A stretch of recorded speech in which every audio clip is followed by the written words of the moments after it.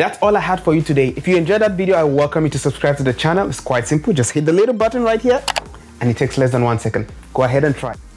Once again, thank you for watching this video. If you enjoyed it in any way, I welcome you to subscribe by hitting the subscribe button somewhere down below. You know what? I'm going to show you the button. I think it's somewhere right here. Up. Whoa! I didn't realize how much comments we had below the video. So I was saying subscribe to the channel by hitting that red button right here. And I'll catch you in the next video as soon as I figure out how to head back to the studio.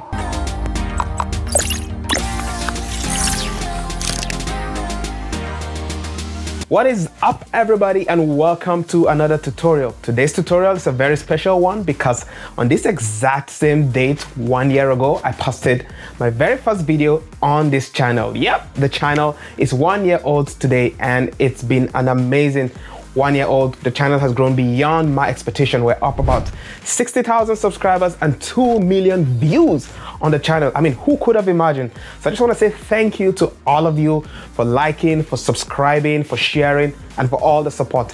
Thank you all, thank you all, thank you all, thank you all. I'm really grateful. And to celebrate that, in today's tutorial, we're gonna be doing a very fun tutorial and which is happens to be actually one of the most requested tutorial that I've gotten since I started this channel, which is how to do the cool subscribe to my channel like you saw in the intro of this video. I've done this in my welcome video and in, I've used this same technique in a couple of my videos uh, since I've been releasing them and a number of you have been asking me how to do this. So in this tutorial, we're gonna tackle all of that. And what is a celebration without some giveaways? Yeah, so I'm gonna be having some giveaways at the end of the video. I have some Create Studio licenses. I have licenses to Demo Creator, which is the screen recording software that I use for my own tutorials. They're really amazing. So if you wanna start your YouTube channel, this is a good software for you to use.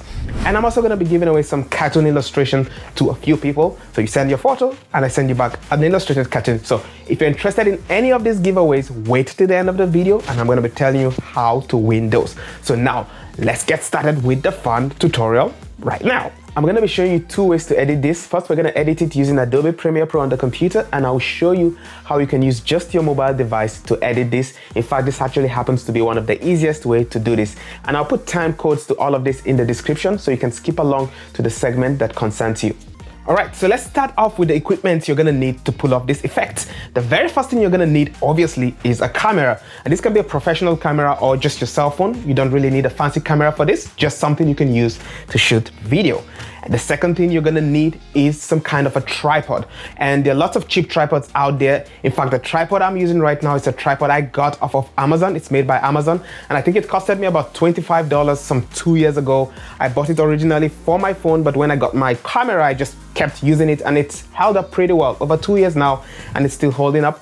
It's not very sturdy, but it works. I've had it for two years and it works pretty well. I'll put a link to that in the description in case you're interested in that. Uh, you can get that. And there are lots of other cheap tripods out there, so you can easily grab one.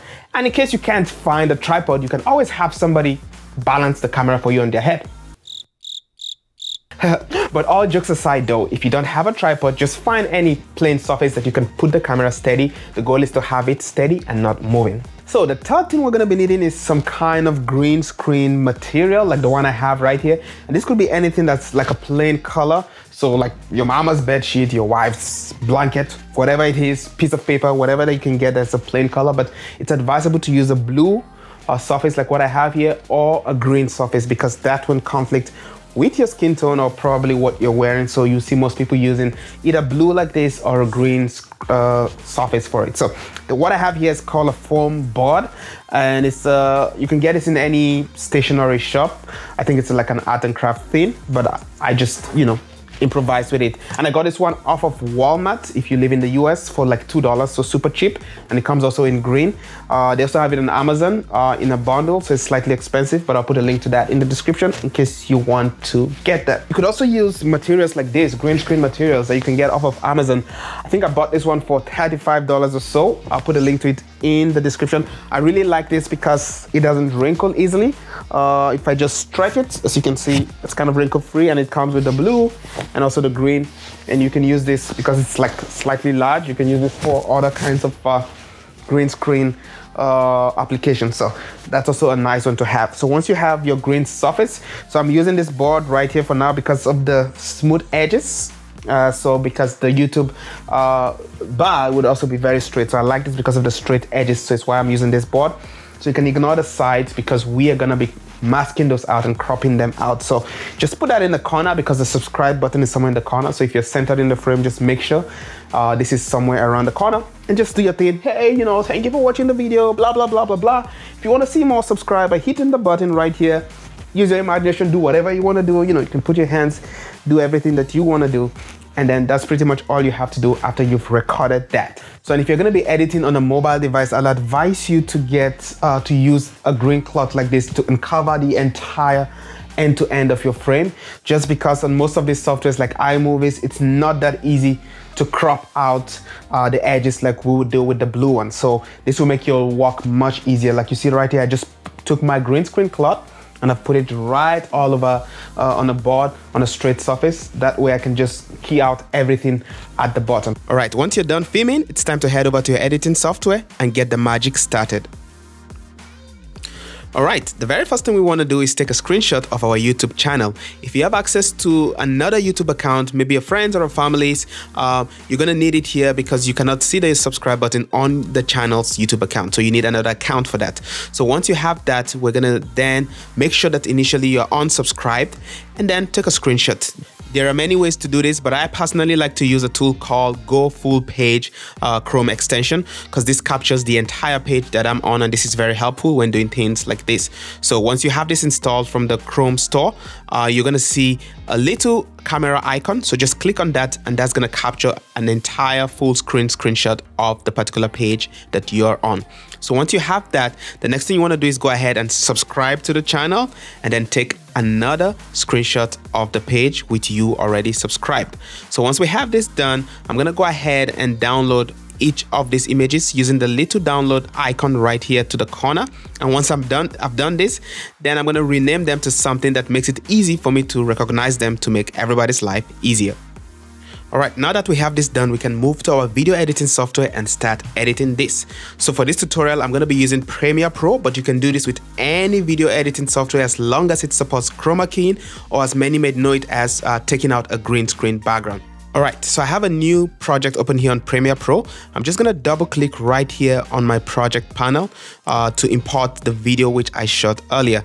I'm also going to go ahead and also import the two images, the screenshots which we took uh, that I downloaded. I'm going to import them into the project. So once I have this imported, I will drag the video that I shot and just drop it right here to the right to create a new sequence. So once I've done this, I'm going to head over to the bottom left here and click on the effect panel and search for an effect called Ultra Key. I'll drag this and drop this on my clip. And right here on my effects control, uh, there's a little color eyedropper. I'll select on the blue.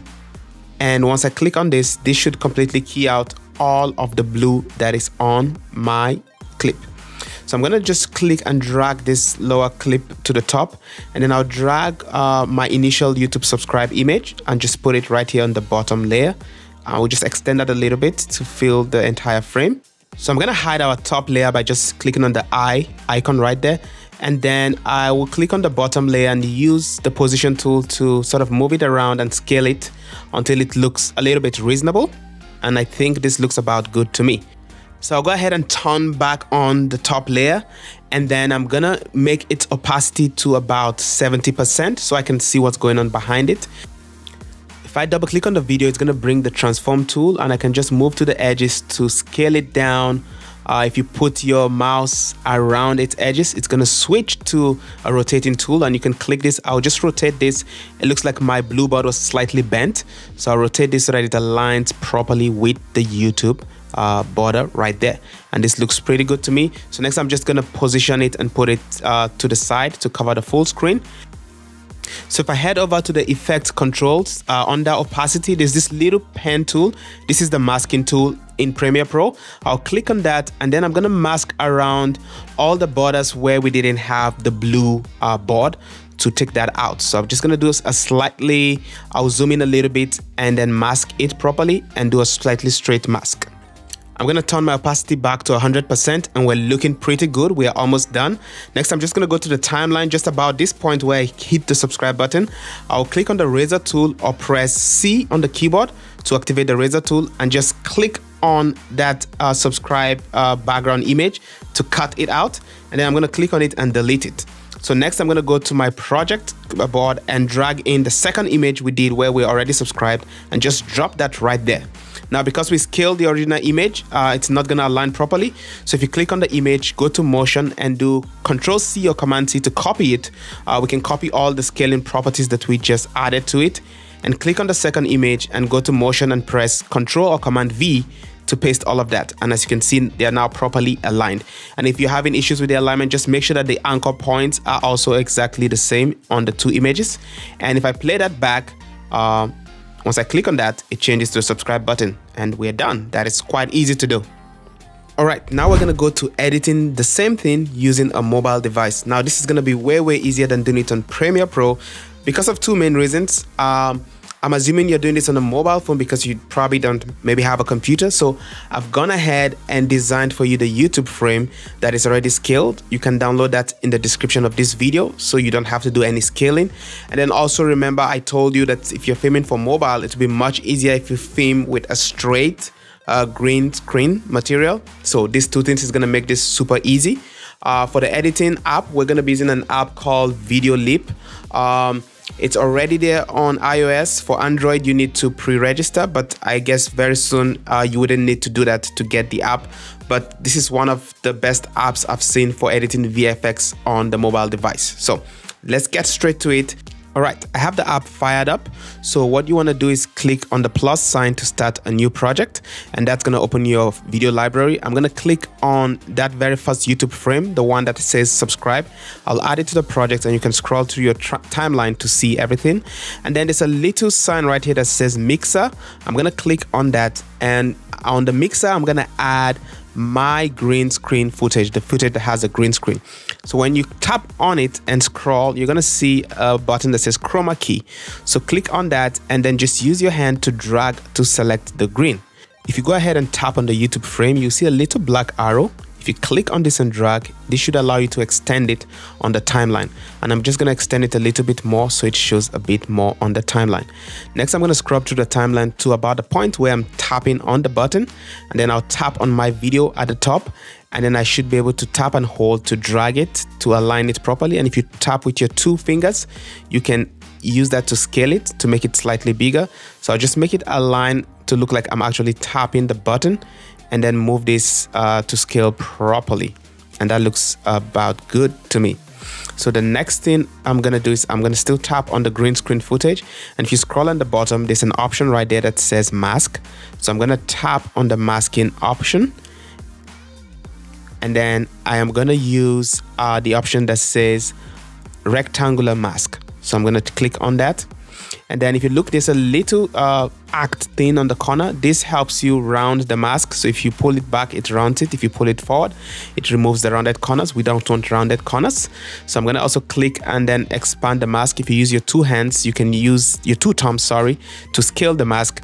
And then I'm just to use my uh, thumb finger to just align this so that it fits properly and that looks pretty good.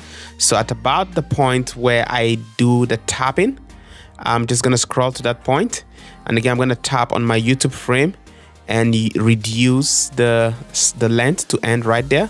And then I'm to tap on the little red button right there and then I'm to tap on that second frame that we created for this. And now if I play this back if I hit and smash that subscribe button you can see it's subscribed. That was simple simple and very easy to do.